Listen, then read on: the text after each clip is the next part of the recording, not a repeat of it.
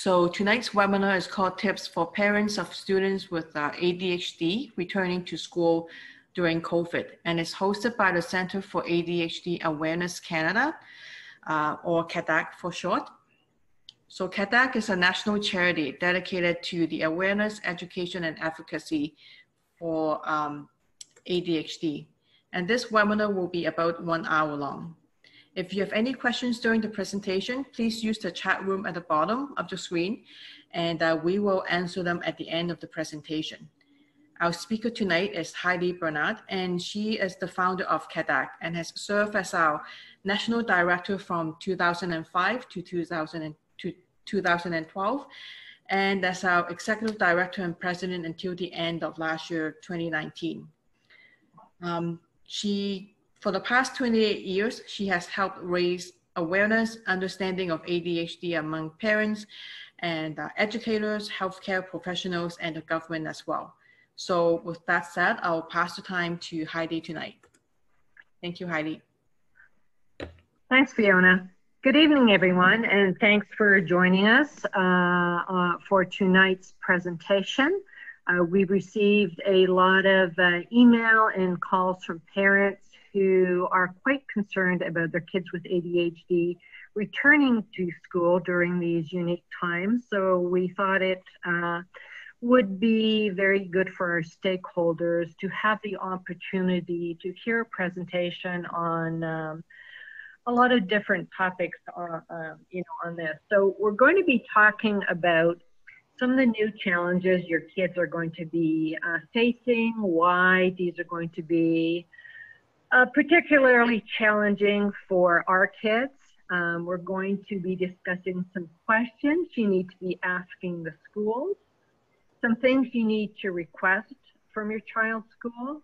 We're going to be talking a little bit about uh, school exclusion, what this is, why you need to know about it. Um, and we're also going to be talking about some ways to assist your child with transitioning back to school before they get into school or at the beginning. Uh, obviously, the more you can do before they they get into the classroom, better, the better. And uh, also, we're going to be talking about some uh, tips on preparing the school for your child going uh, going back, and then uh, just touch on some resources. So, new challenges. So, let's talk about new challenges. Uh, the box is back again, but okay. So, all kids going back to school um, are going to be faced with a new reality. But for those students with neurodevelopmental disorders, this environment is going to be significantly more challenging. And why is that?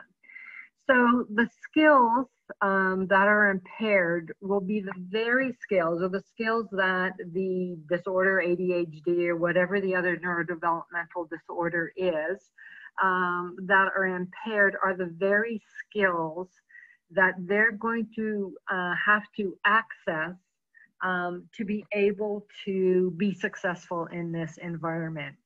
So things like the ability to pay attention and not be distracted, when these kids are faced with a brand new environment, a lot more rules and regulations, um, different schedules, um, all kinds of things they're going to have to remember about staying seven feet away from everybody else, not touching other people's belongings.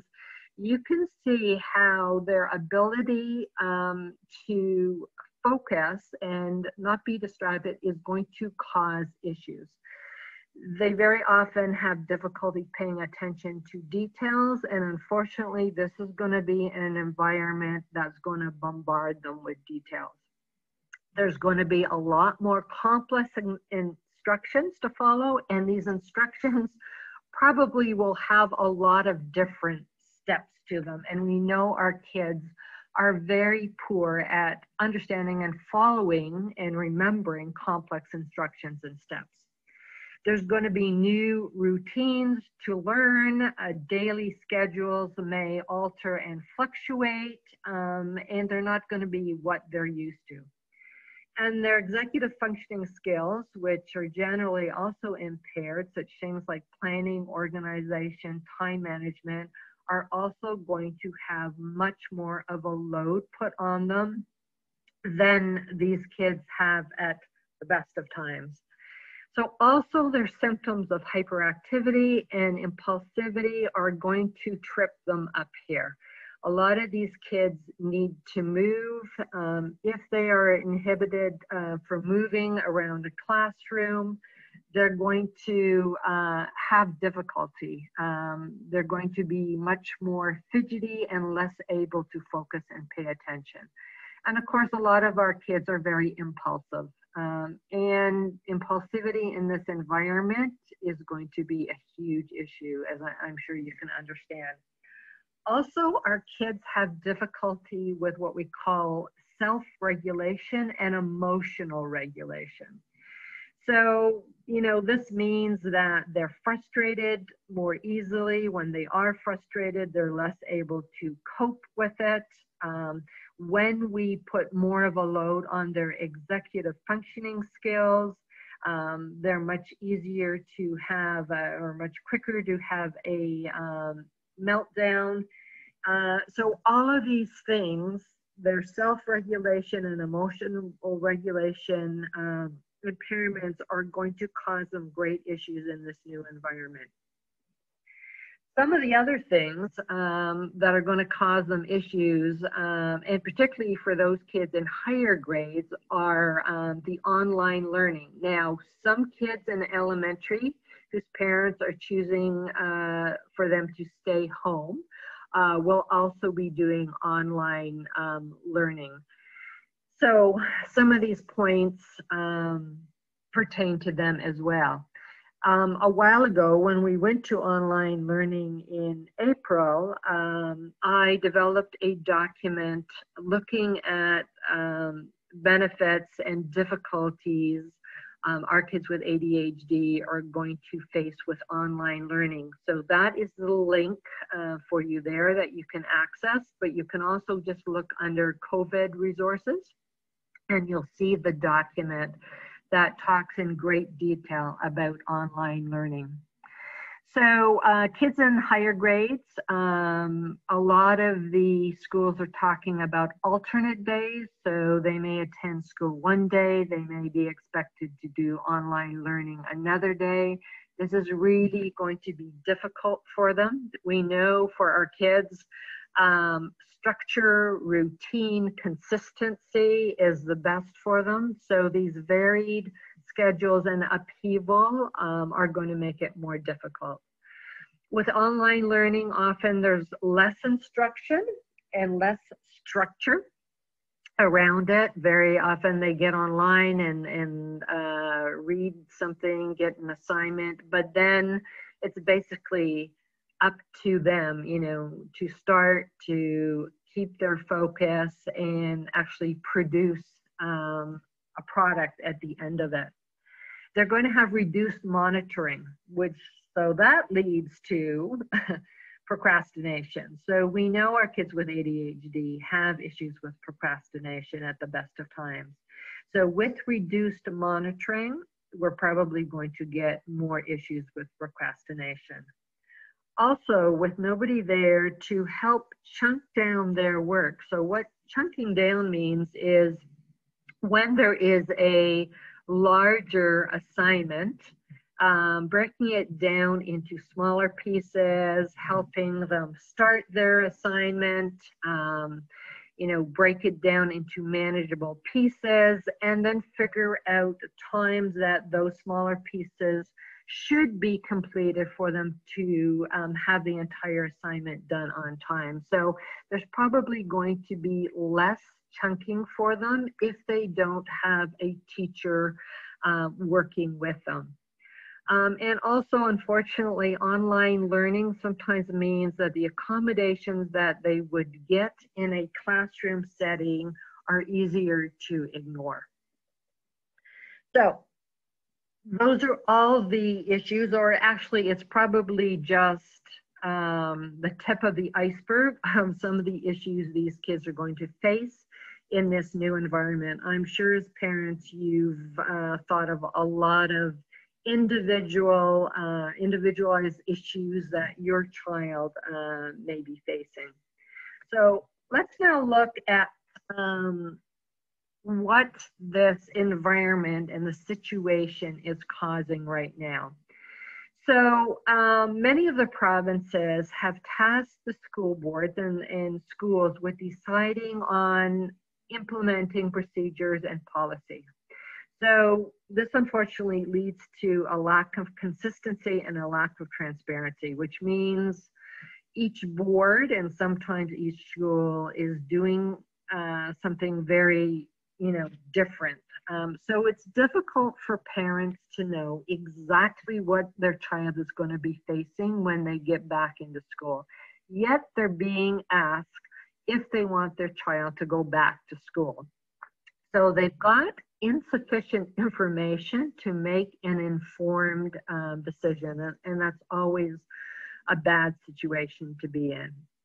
So know that you've got the right to be informed about the environment your child is going to go be going back into before you make these decisions. Unfortunately, it's kind of late in the game, and I know schools um, and boards are scrambling, have been scrambling. Um, a lot of them are just putting the final touches on it, and from talking to to some of the boards, um, they have a game plan, but they're not 100% sure it's going to work exactly as they think it's going to work. So there's a lot of unknowns here. So also know you've got the right to expect your child's needs to be met.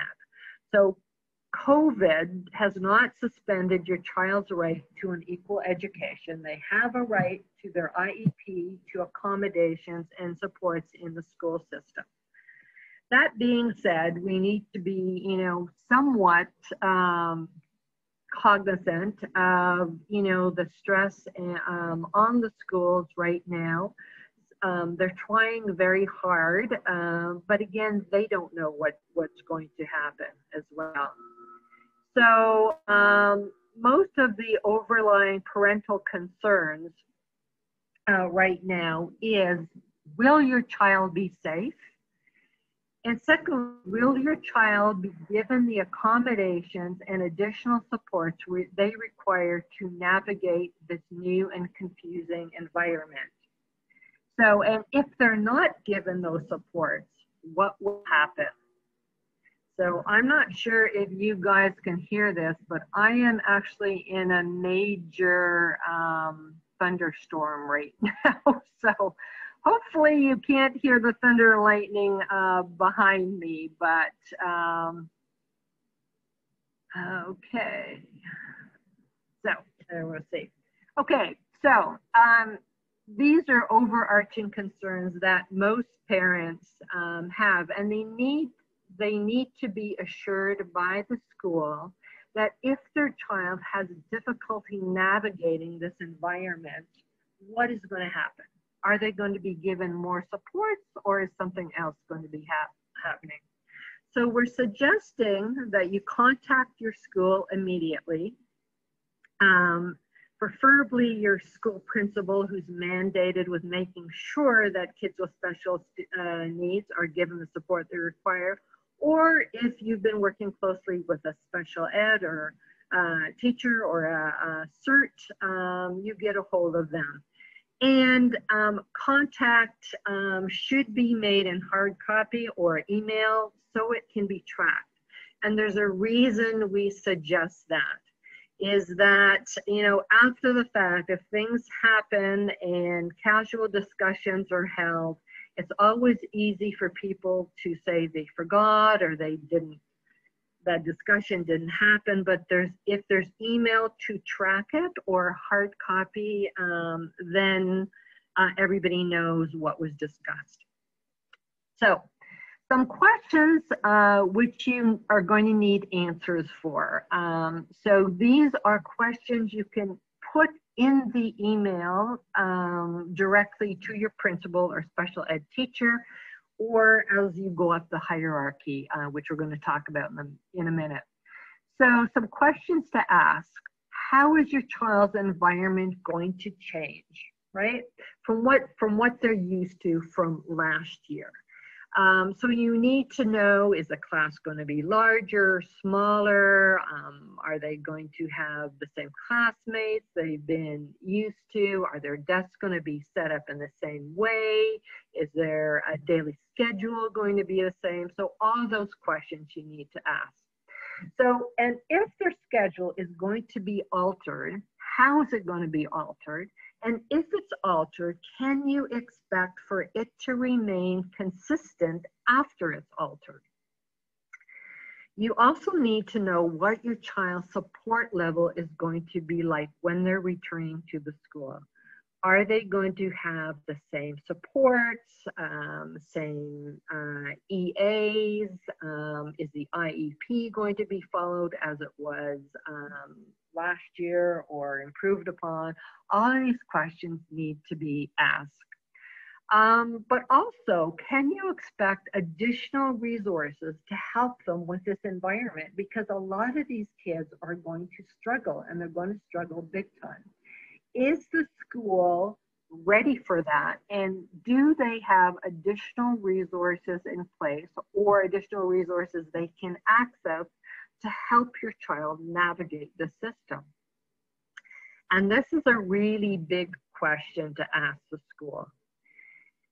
If your child returns to school or when your child returns to school, if they find the environment too challenging or certain aspects of the environment too challenging or the number of rules difficult to follow because of their ADHD or other impairments, can they get additional support or are they going to be consequenced or are they going to be excluded? So we're going to talk about exclusion um, in some upcoming um, slides, but these are questions you need to be asking your school. So some things you need to request. So you need to ask the school if uh, you and the school can revisit your child's IEP and or behavioral plan. Some kids have behavioral plans as well as, as IEPs. Um, and look at the existing accommodation and look at any additional accommodations that need to be added to cover these circumstances. Okay, this sort of um, unique setting um, that, that we're having right now. Request a Zoom meeting with the school um, to discuss any IEP changes and also talk to the school at this meeting about any strategies that you found uh, have been helpful during these additional times of stress for your child. Um, discuss with the school and decide how the school is going to routinely share with you feedback. Um, so you want feedback on how your child's doing, right? Physically as well as mentally. Do they seem more stressed? Uh, do they seem more impulsive and hyperactive? Um, you know, are they able to social distance and also do the physical things they need to keep them physically well, right? And also discuss um, on any issues that may uh, arise and decide on a way the school can routinely share feedback with you. Okay, so is it going to be an email? Is it going to be a quick phone call? Um, is it going to be um, your child's um, daily reminder book or um, whatever. Obviously, uh, email is better, especially if your child is old enough uh, to read what's written in the daily reminder book. So also asked to be informed about the school's exclusion policy. When what does this exclusion mean? So exclusion means when a principal asks you to alter your school your child's school day bring them in later, take them home earlier, only have them there for lunch, or to stay home, period. And generally, they use things like lack of resources. We don't have enough staff to deal with your child. Your child is being disruptive. They're not following the rules, etc., etc. And also ask what your school board's policy on school exclusion is. And we're going to go into that in more detail in a minute. Um, I mentioned about this escalating through a school hierarchy. Hierarchy.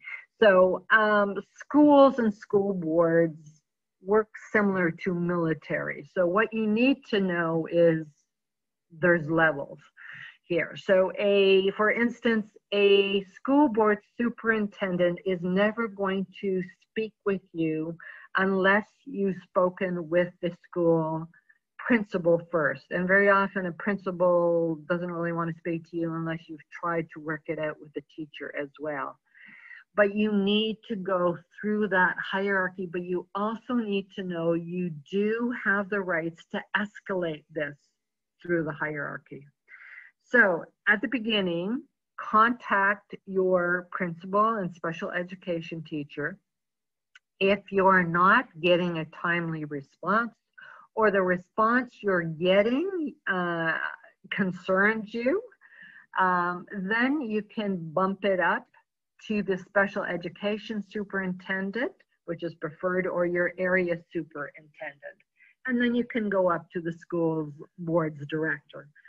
But just to caution you, I mean, obviously, it's better to try to get things resolved at lower levels before you escalate. But if you're hitting a brick wall and you're very, very concerned about what's going to be happening with your child, you know, at school, you do have the right to escalate this. Um, and again, if you escalate it to those people and they don't contact you in a timely manner, I mean, obviously not within an hour, right? You have to give them a little while. Um, or you're not receiving appropriate answers, you can contact your school trustee. You can go to your local provincial representative um, in your provincial Ministry of Education. These are all people who should be accountable to make sure your child is receiving the accommodations they need for their disability. You can actually, if you want to uh, contact, um, you know, more than one person at a, at a time, you can write one brief letter and uh, you know you can copy varying uh, other people on that letter. Now we have developed a template letter for you. There's a link there.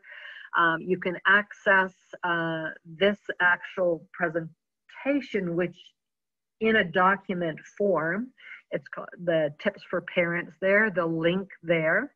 Um, so when I'm talking about a simple letter, things like, um, you know, we are concerned about our child returning to school, um, our list of questions are this, and you can actually just cut and paste the list of questions directly off our template letter. Um, you may want to add a, you know, a sentence or two about um, your child, uh, their impairments, whether they are identified as a um, exceptional student or special needs student, if they have an IEP, that kind of thing. But again, you don't have to go into great detail but list the questions that you need answered and also inform them who you've spoken to already or who you've emailed already.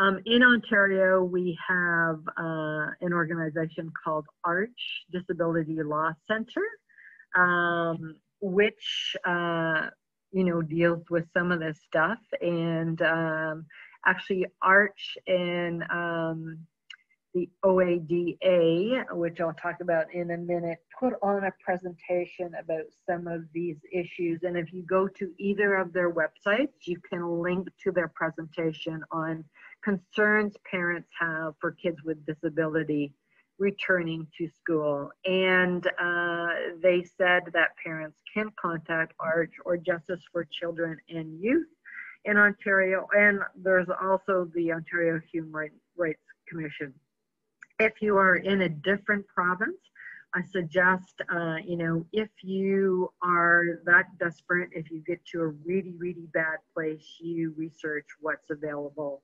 um, in your province as well, and you also have the ability to contact us. So, what this school is a school inclusion exclusion, and why should you be concerned about? as I mentioned, AODA, Accessibility for Ontarios with Disability Act Alliance, did a report on a school exclusion about a year, year and a half ago. Uh, there's a link to it there, or you can just go to their website and look for uh, the, the document. They also, I believe, did um, a webinar on it that you can access it access. But um, in the presentation that AODA and ARCH have done together lately uh, in conjunction with the Ontario Autism uh, Association, I believe, um, they are very, very concerned and have heard a lot of feedback from parents because they expect exclusion to increase um, for kids with special needs in this environment.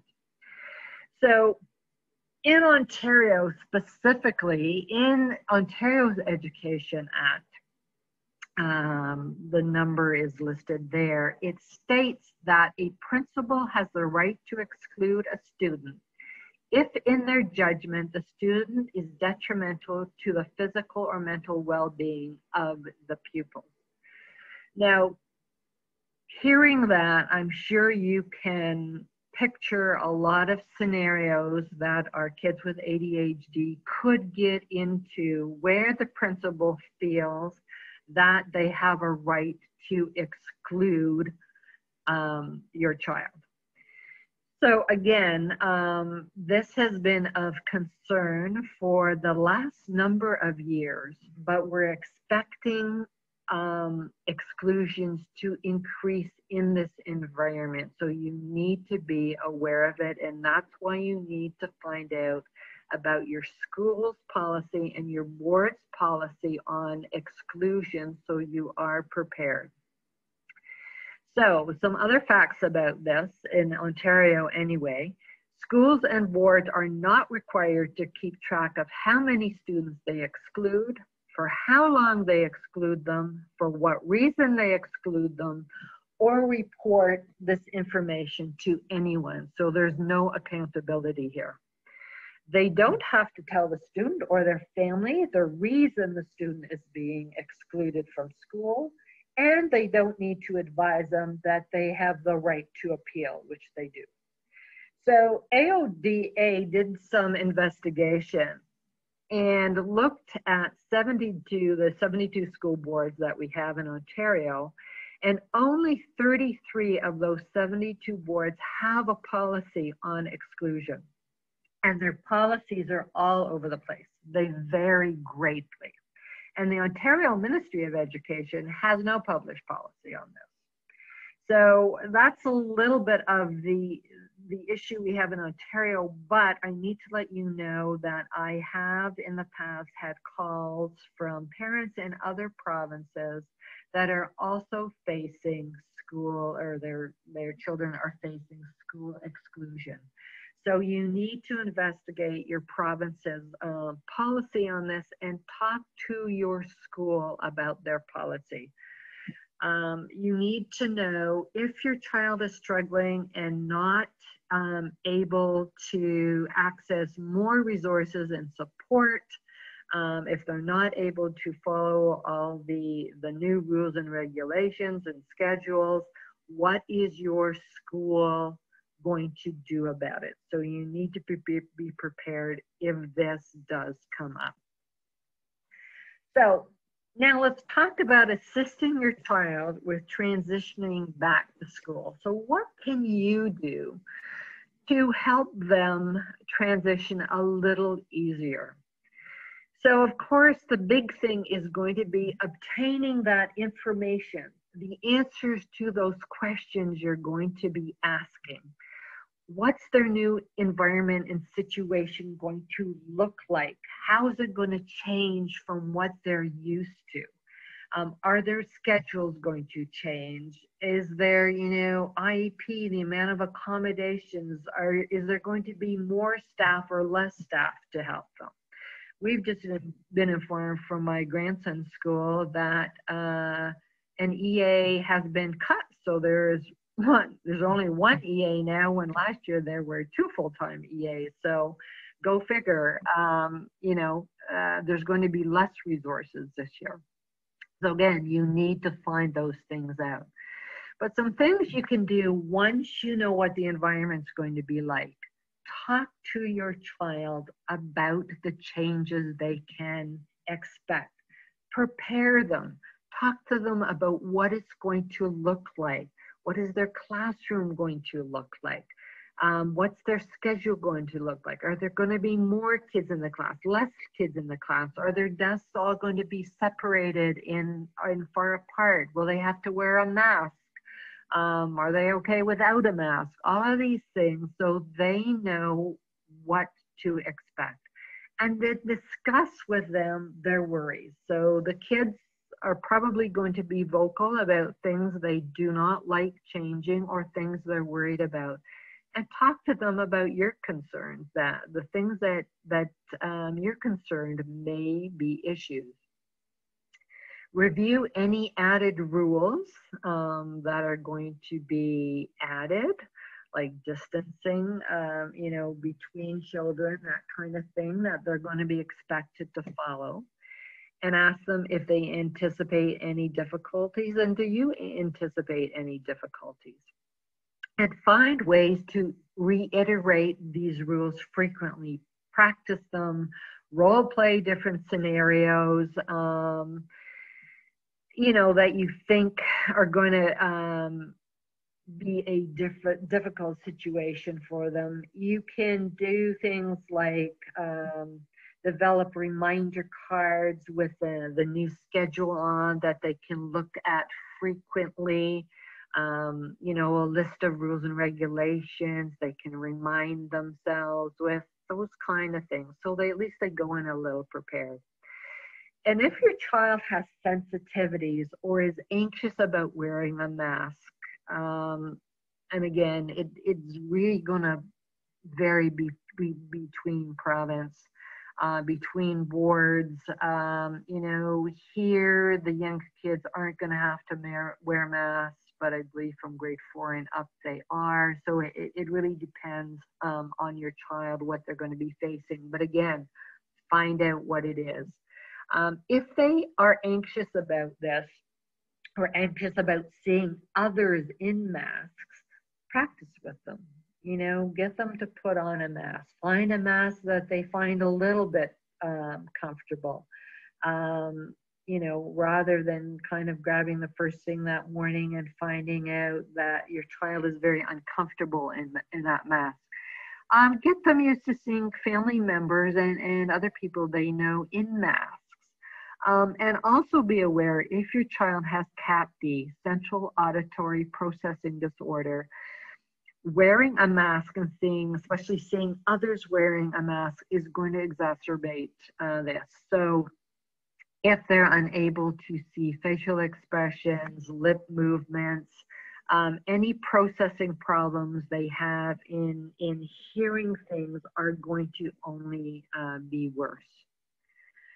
So language skills um, is something, or at least a strategy around this is something you can practice, um, be proactive about. So lots of our kids have reduced expressive language skills, which means basically that they have difficulty expressing themselves, expressing when they're struggling, um, and sometimes even recognizing uh, when they're struggling. But if possible, if you can teach your child the language needing to express when they're struggling, this can help them out. I mean, a lot of our kids find this challenging, but just even teaching them a few simple phrases may be helpful. And again, remember our kids find it very difficult to articulate. So just simple things like, I'm having a hard time right now. I don't know what I need to do. So these kids may be in a situation where people are barking orders at them. They're, you know, they've got difficulty processing things quickly, reacting quickly. We don't want people interpreting that, um, as they often do, that these kids are being defiant rather than just, you know, slow and figuring out what it is they need to do. So if they can just shoot their hand up and say, I don't know what I need to do right now, the teacher will be um, knowledgeable or understand that your child needs some immediate assistance before a meltdown occurs. Um, also, just t- telling the teacher, I need to move right now. Some of these kids are very hyperactive, um, are going to feel very constrained sitting in a chair all day, not being able to move, keep their distance from other kids. So a strategy put in place before when they shoot up their hand and say, I really need to move right now or I'm going to run out of the class. Just I need to move is enough to trigger the teacher to know something needs to be done immediately. So when you've developed the strategy, you need to prepare the school about this strategy. So for it to work, the school needs to be informed about this language strategy. And again, if you can inform the school in writing, all the better. So, but also stress to the staff that they will need to pick up on these messages right away, consistently, and act quickly for the strategy to work. If your child voices one of these, I need help now, a couple of times and nobody reacts to it, they will drop it very quickly. So the staff needs to encourage them, practice with them using this strategy, and react to it quickly. And you and the staff need to decide on acceptable interventions for the staff to apply once the message is relayed.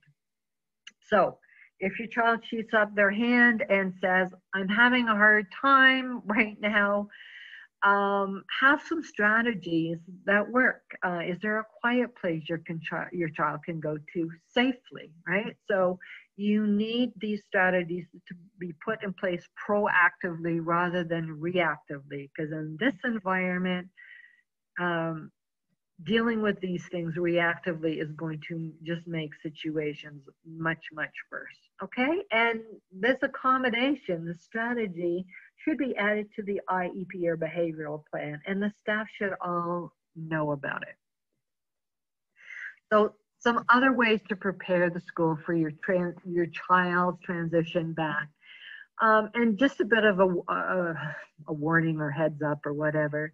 Go into this assuming that the school wants to be informed. They want the information they need that will make the transition smoother. So go in with a positive attitude, hoping they're going to have the same positive attitude, at least from the onset. Okay? So meet with the school. Again, generally, these things are going to be done over a Zoom call and inform them about any skill reduction, anything your your child was doing well up to, uh, you know, school being stopped but they've now maybe fallen back on or you know they're going to need additional help to get them up to that level again you know. But also some kids have found when they've been home there's certain things they've uh, been improved on and parents have been able to um, help them with certain skills. The school needs to know you know what they're better at what they're worse at because it's been five months since they've seen them they need to know if your child uh, anxiety has increased during the time or they've had any behavioral setbacks.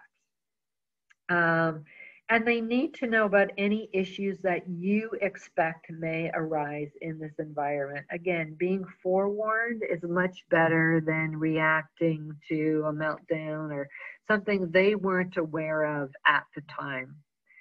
Um, and any strategies that you've developed working with your child over these past five months. You've had them, you've had to um, homeschool them or at least do online learning. You've seen them through this sort of crisis and anxiety time with COVID. you've probably developed some strategies that works for your child. And the more concrete these strategies are, the better. So your child will be used to these strategies being used. And if you can share it with the school and be consistent in these strategies, the better. So also discuss with the school any triggers that increase your child's stress and any tells. So what's a tell? So a tell is like a visual cue. For uh, for some kids, is they clench their fists, their face goes red. Some kids just shut down and stop talking. So what is the tell or, or visual cue that your your child's anxiety or their frustration or their ability to self-regulation is is you know, anxiety is going up, their frustration is going up, their ability to deal with it is tanking. What are the tells that the school needs to be aware of? Just they need to step in now before things get worse, right? And again, strategies when these tells appear need to be developed proactively, not reactively. And again, any accommodation strategies around that should be added to your child's IEP or behavioral plan.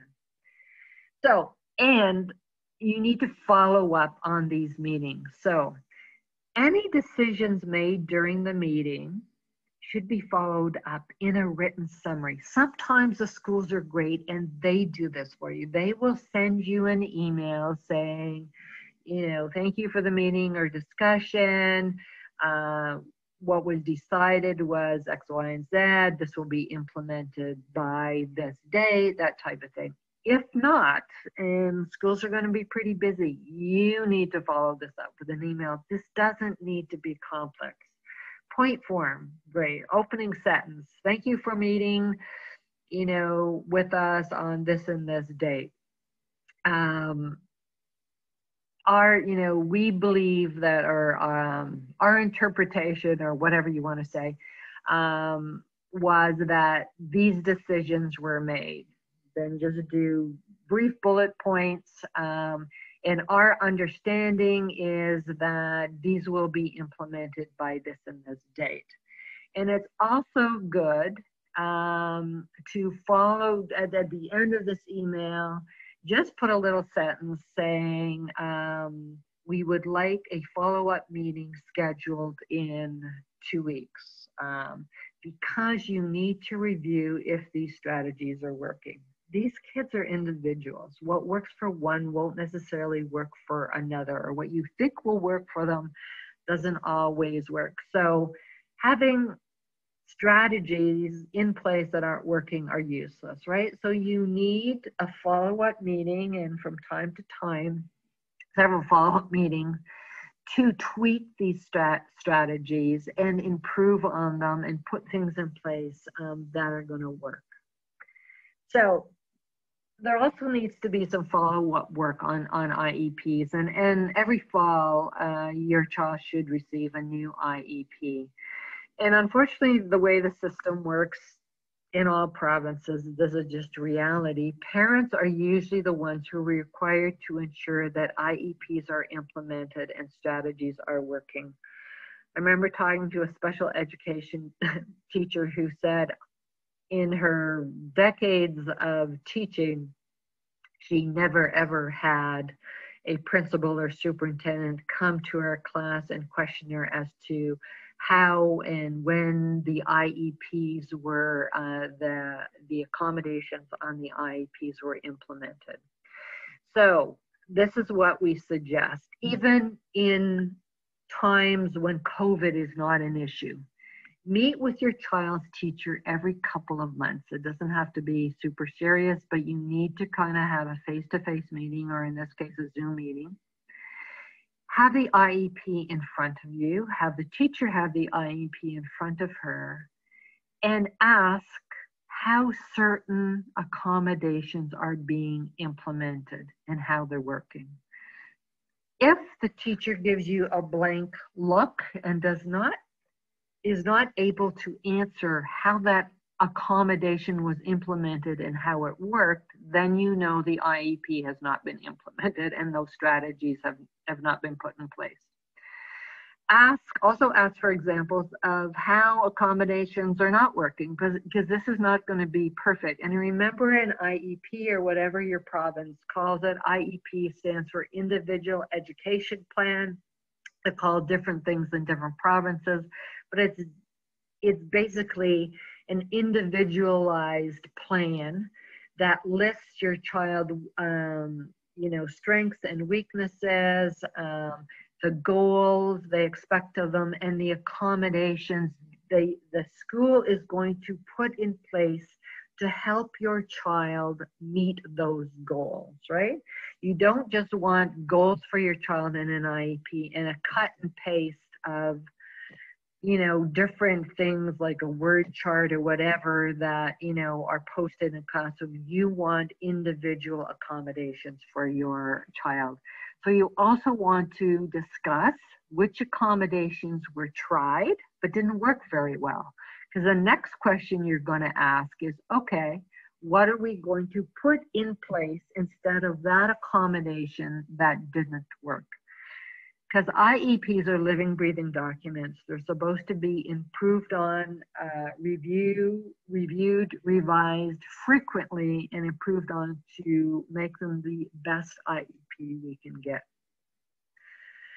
So that's basically the end of my presentation, but I did list some resources for you here um, to assist you with IEP. So I've developed charts on uh, for elementary. There's teaching strategies for typical ADHD executive functioning, uh, typical ADHD and executive functioning impairment. So this is a chart that lists um, problems, issues a child may have in a classroom, things like if instructions are given, they're not able to start the assignment, um, and different accommodations that are appropriate for that difficulty. But I believe there's a list of almost 30 of them um, on that list.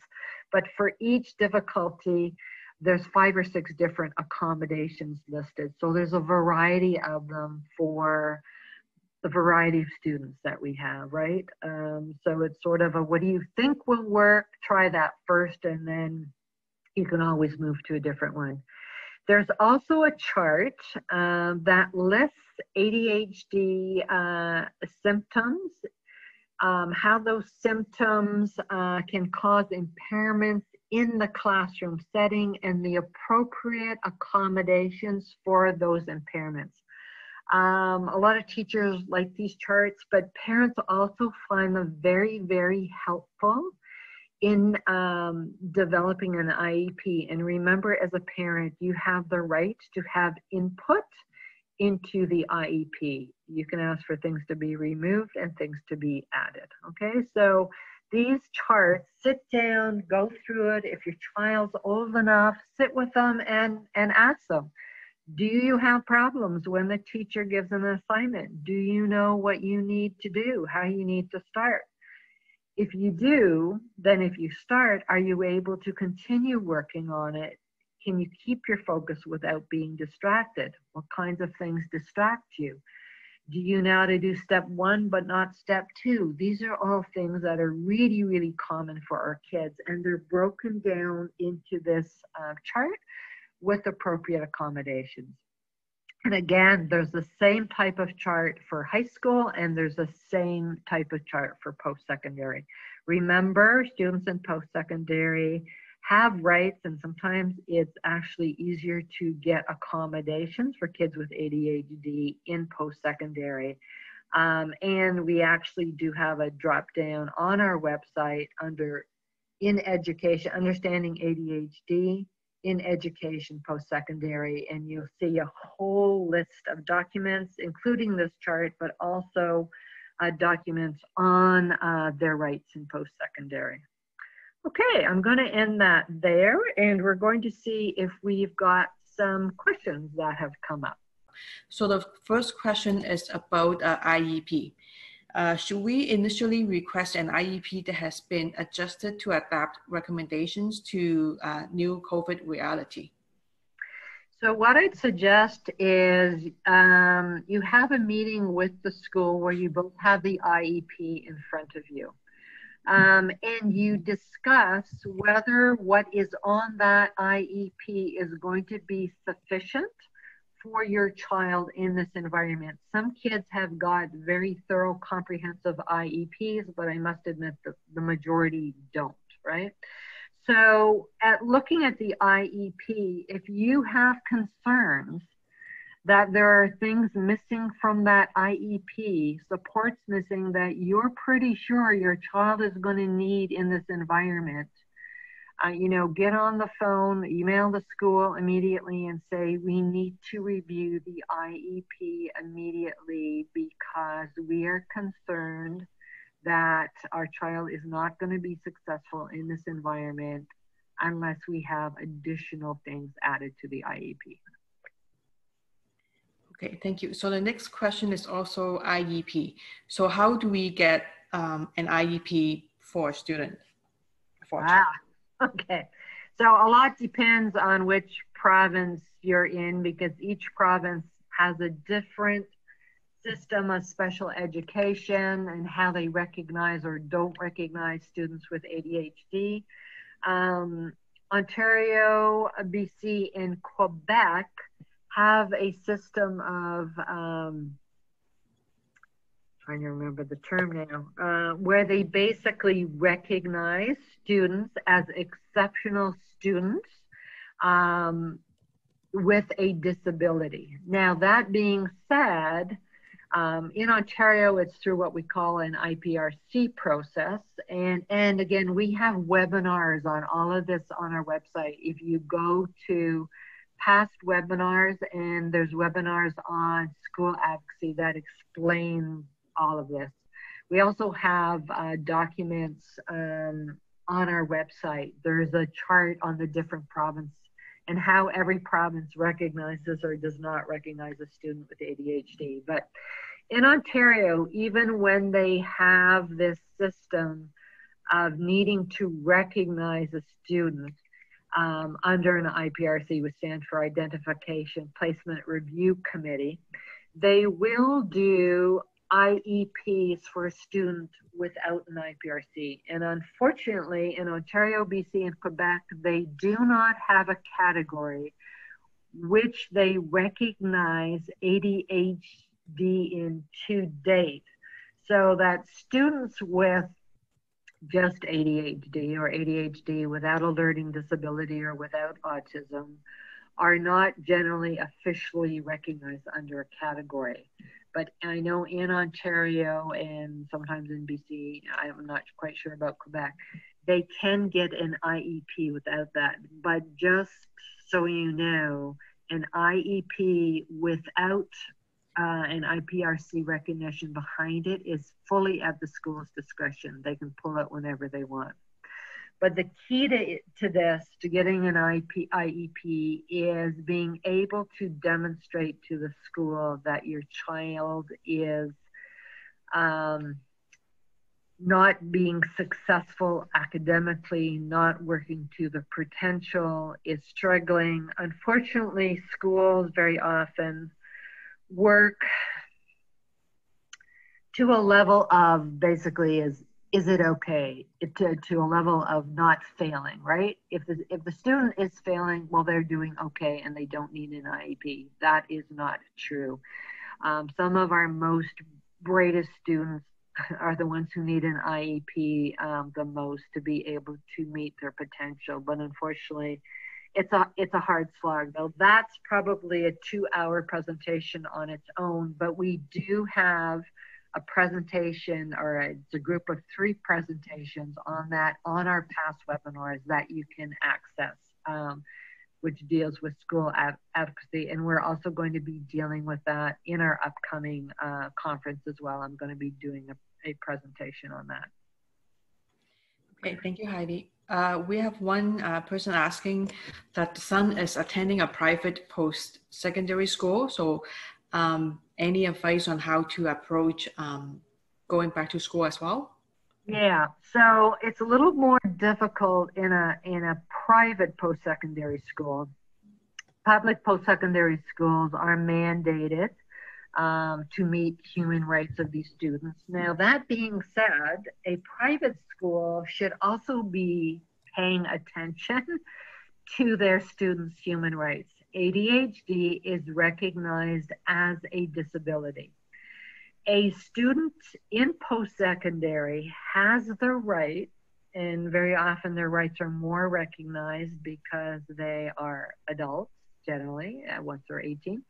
Um, they have the right for accommodations for their disability. Okay, so um, as I mentioned earlier, if you look at our website, um, under Understanding ADHD in Education, you'll see a drop down for post secondary. That explains the entire system. There is a document, we developed a policy paper on this.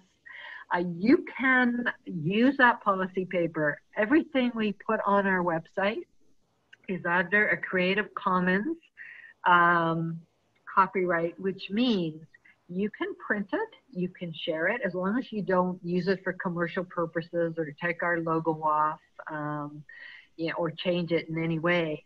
But those documents will explain to the school what the rights are of your uh, child in the post-secondary setting. Obviously, they're they're going to want the student to do the the advocating, but we know our kids, even at post secondary, are not often good at this. But um, you know, also. Um, I developed a toolkit uh, called Transitioning to Post Secondary, which you can also access on our website, which takes you through these steps, all these things you need to do step by step. Okay, thank you. So uh, with regards to elementary child with a learning disability and um, ADHD, what rights do we have in terms of requesting additional class support? So, um, a child who has a learning disability plus ADHD should not have any difficulties getting that um, recognition as an exceptional student because learning disabilities is under one of their categories. It's under the communication category. So, if your child's been diagnosed as a learning disability, what you, and they don't have uh, official recognition or the word they're called, we call it IPRC. If you're in um, Ontario, other provinces generally all recognize learning disabilities um, as acceptable. You need to send a letter to the school principal, tell them uh, you, um, you know, in Ontario, you ask for an IPRC meeting. Again, this is all explained in these webinars. But in other provinces, you basically have to request it, ask for it. They may ask for documentation. Um, you will have to have some type of testing and report from a psychologist for the learning disability, maybe documentation of the ADHD documentation. They will actually tell you what they need, but you need to request this. Um, and if they've got an existing IEP, you have the right for the IEP to be reviewed and changed uh, at any time. Okay, thank you. Um, also on IEP, uh, I'm not sure which province, maybe Quebec. Um, so this person has a document called, um, excuse me, my French pronunciation, plan adaptations. Uh, so accommodation plan. Um, it doesn't include adjustment to the curriculum. Is that the same as an IEP? Yeah. So um, actually, um, if we have what's called a modification um, on an IEP, uh, red light should go off. So modification or adjustment to curriculum means the child is not functioning at grade level. So you don't want to see adjustment to curriculum. It means your child's not not working at grade level. So the curriculum is being altered. What you want to see is accommodations, right? Accommodations means they're functioning at that grade level, but things are being accommodated. So the way the child is taught, the teaching, the teaching strategies, are they repeating instructions, chunking work, helping time manage um, your child with time management, more reminders, all those kind of things. Then we have accommodations to environment. So is your child um, able to sit beside the teacher, right? Are they able to write tests and exams in a quiet spot? Those things are accommodations. And then there's accommodations around testing.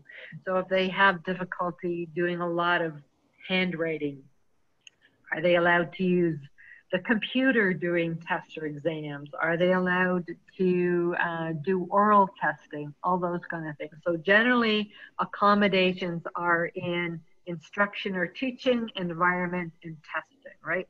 Again, all of this stuff is is is on our website.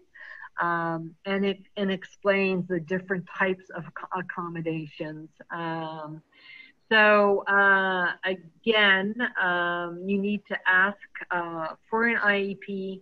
But if you see the word, and I'm sorry, I don't know the, the word in French, modification, or that your curriculum is being changed, you need to start asking a lot of questions. What grade level is my child functioning? They should be able to tell you what grade they are in math, in uh, you know English comprehension and reading and all of those things. They should be able to break it down for you and how they're altering the curriculum and to what grade level. Okay, thank you. So next question, going back to the previous IEP question, um, what um, rights do we have to additional people resources beyond IEP? So um, okay, so um, so generally these questions come up around does my child have a right to a part-time or a full-time uh, EA educational assistant, um, that type of thing. Generally, kids don't have rights to a specific resource uh, per se the school has to apply for um, EA time and for a child to have a full time or even a part time EA assigned specifically to them, the impairments have to be pretty specific because we just don't have these resources in our school systems, right?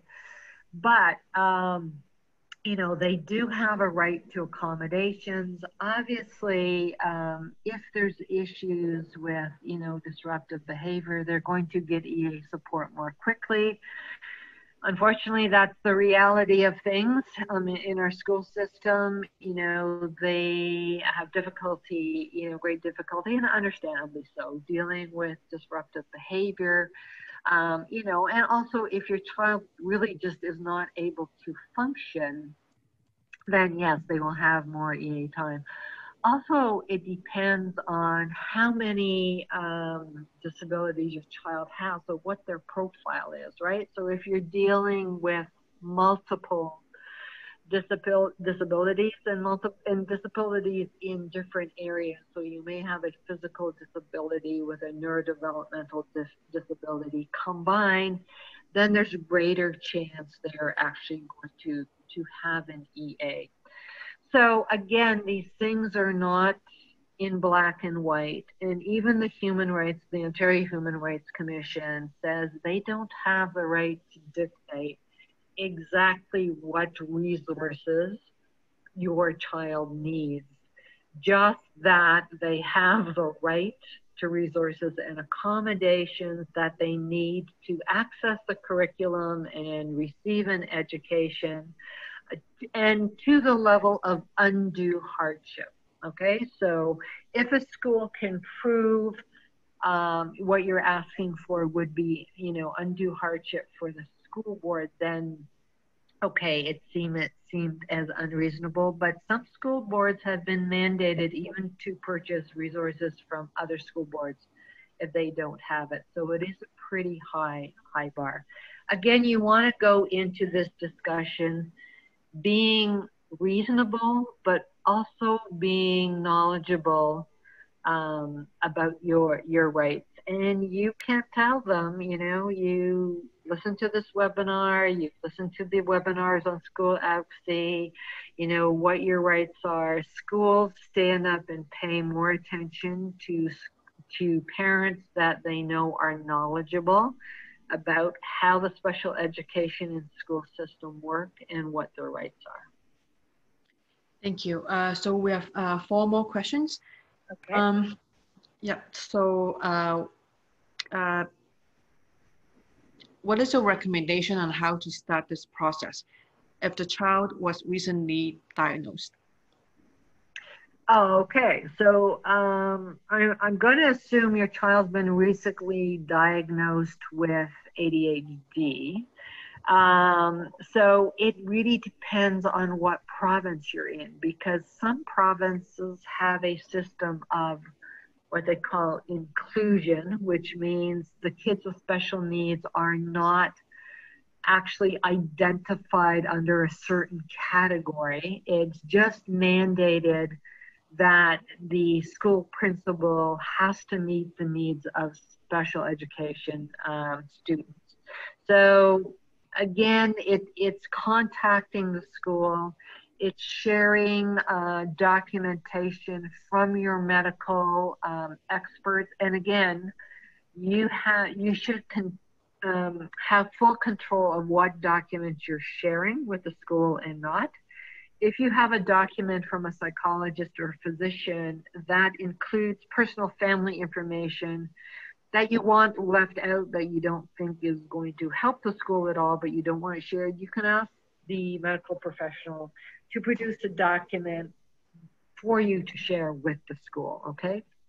But the school needs that documentation to recognize, um, you know, your child as a student with special needs you're then going to have to sit down, um, you know, and and talk to them about what the special needs are, any anything you can give them, any reports from a speech and language pathologist, from occupational therapist, uh, anything on CAP disorder from a audiologist, anything you have to show that your child has special needs and also you need to show the school is struggling academically or behaviorally, right? And very often this means educating the school on your child's disability. Do not expect that educators automatically understand ADHD and understand it as a medical disorder and a disability. And again, all of those documents that you may need to support this are easily accessible um, on our website. And the process in each province, you can look up. There is a chart, which is uh, our 2010 report card on uh, the different provinces and how they recognize and don't recognize ADHD. And it explains, explain, it's brief, but it explains how the system works in your province. And then you have to get on your provinces, um, where your the province, each province will have something on their special education, how the system works in your province. So you're going to have to educate. It, it, it's basically going to be a multi hour presentation if I go into each province's province, so you're going to have to be a little proactive. But remember, that's what CADDAC's here for. You can also email us, um, you know, with those questions individually. Thank you. So next question, uh, my son was due to have a school support team meeting in April and that was canceled. So how would you bring this up with the principal and have you heard anything about canceled IPRC and uh, school support teams? Uh, someone else is also asking what is IPRC? Okay.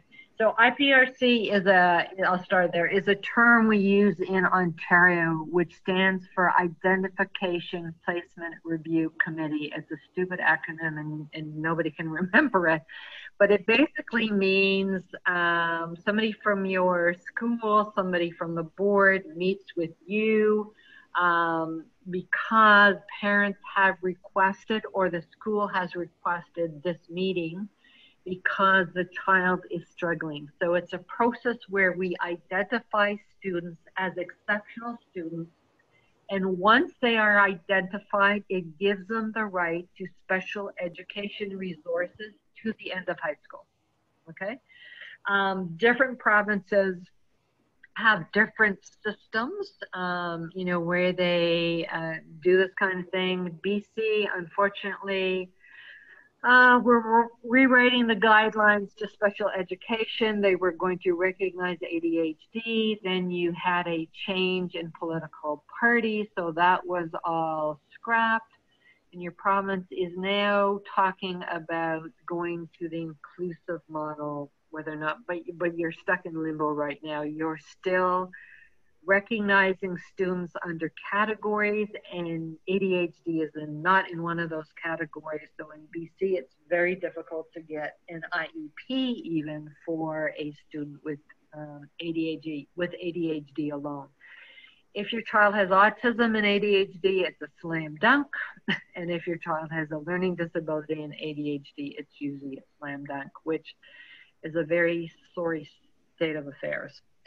Uh, sorry, what was the other question, um, Fiona? So, and I, what is an IP, IPRC and?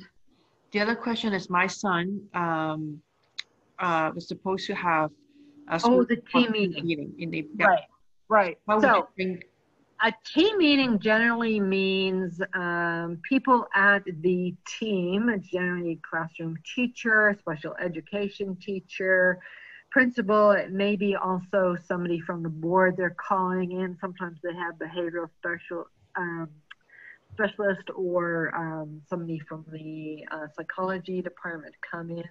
It generally doesn't involve the parents, but I always recommend to parents that they ask to be involved in the team meeting if they can. Um, and again, this IPRC meeting generally happens in April or May and it is th- these meetings where we declare these students as special needs. And an IPRC meeting has to occur every year at about the same time to review this. So if these have been canceled, um, as early as possible, I would contact the school principal, um, ask for a date when you can expect the team meeting and the IPRC meeting to happen.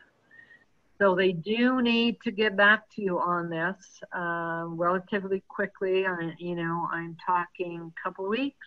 Um, you know, with with at least a date. Now, the meeting may not happen within those two weeks. They're pretty stressed right now, but they at least need to give you a date for when this meeting um, will occur.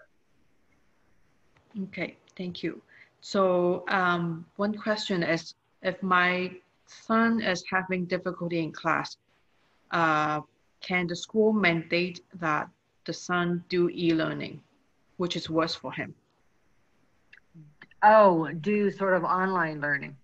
Yeah. Um, no, again, that is a way of excluding your son from the classroom. So I would anticipate if your child is struggling in the classroom, they may struggle more with online learning. It depends, it's individual. And this is something you're going to have to sit with your child if your child's old enough to discuss this. Um, you know, and basically say, you know, which is the the less evil option here, right? If your child doesn't want to be back in this school environment, maybe you know that is the choice there. But if you the, the school brings this up uh, and says no no we think it's better that your child do online learning the first question i would have is what accommodations additional accommodations are you going to put in place if you are asking my child to do online learning the last thing you want is for your child to do online learning and not have any interaction with the teacher. The teacher not be there to help them through, chunk their work, um, answer questions, um, and somebody to hold them accountable. So if they're online learning, you know, there's got to be the teacher's got to say, okay, in two days' time, I expect to see, you know, one page of math questions or whatever, uh, you know, two page essay or whatever the assignment is, but that there are very concrete accommodations and deadlines and ways to hold your child accountable. And of course, they're going to have to involve the parents in this as well, because if your child is learning from home exclusively, um, I don't see how you're not going to have to get involved somewhat at least. Mm-hmm. Thank you. So two more questions. Um, one is um, if the child is on modif- modification based on uh, for most subjects, should you be looking at getting that changed back to accommodation? And is modification bad? So you need you need to have a chat with the school on this. So modification is not necessarily good or bad, but it should set some red lights flashing for you. So it basically means I, I, just talked to a parent the other day. Their child is in grade three going into grade four. And when I read the IEP, it said they were functioning at a, you know, senior kindergarten, grade one level of reading and math. That is significantly concerning because the question I would have as a parent is, if you are modifying my child's curriculum and they're not functioning at grade level, what are you doing to bring my child up to grade level? Right? Is the school uh, basically happy to have your child functioning at below grade level? So as they go up in the years, they're always going to be below grade level unless the school is doing something, has um, doing a special reading program, uh, extra tutoring math, whatever it is that they need to do, and they need to give you a timeline. So if your child is having their curriculum modified now, you need to know by when the school expects your child to be up to grade level and what are they doing to get your child there. Okay? So unfortunately, some schools are happy to what we call warehouse these kids, have them function at below grade level and just keep giving them easy enough work so they don't have to accommodate and support those kids and use up resources help the child get the grade level. You shouldn't be happy with that. Okay, so last question um, and this is uh, in Ontario. Uh, my daughter is going to be attending uh, online classes for grade nine. Uh, will she be able to access help for academic needs or will the schools be uh, only providing help for in, in-class students? So she has an IEP and a psychoeducational assessment done uh, where her needs were outlined. Okay, so according to um, our provincial government um, and uh, school boards, um, the kids with IEPs, with special needs, should be receiving all the same accommodations when they're doing online um, schooling. Okay, so just because they're doing online education, it doesn't mean the responsibilities of the school to meet her special needs stops. Okay? They may need to be altered somewhat, right? Because the teacher may not be in front of her all the time. But then you need to set at other times. So maybe every other day at a certain time of day, the teacher is going to get online with her on Zoom or whatever, um, and be able to uh, answer her questions, help her chunk down her work, uh, help her time manage her assignments to say, okay, by this date, you say you should have this much done. That can all be done online just as well as it can be done face to face. But you are going to have to be proactive and talk with a special education uh, teacher and her teachers to make sure things are being put in place. Okay, thank you. So uh, thank you for all the questions and the answers. So this is the end of our webinar tonight. Um, you will be receiving an email with uh, tonight's recording and uh, that should be sent in uh, from two to three business days. So if you don't get that email by Tuesday, please uh, take a look in your spam box just in case it got there. Um, the other uh, item is our annual conference, which uh, Heidi had mentioned tonight. Um, so our annual conf ADHD conference will be taking place on uh, October 17th and 18th. So there will be two days and eight sessions together. Um, for tonight's uh, regist registered um, uh, users will be offering an exclusive 10% discount for those who register tonight. So the details for the conference will be included in the email as well. So once again, thank you for coming tonight. Um, I hope this is useful for you all. Um, if you have questions, uh, send them to communications at caddac.ca and uh, we'll get back to you on that. Um, thank you once again and good night, everyone. Good night. Thank you.